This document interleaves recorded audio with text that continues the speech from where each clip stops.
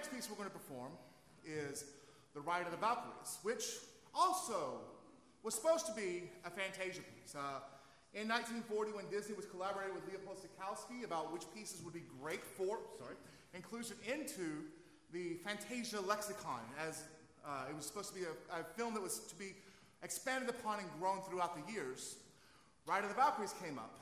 And it was one that they actually storyboarded with some great art by a Danish artist, uh, but one which, um, given Wagner's uh, close ties with a certain political party in Germany in 1940, uh, Disney saw it as not the best maneuver for it.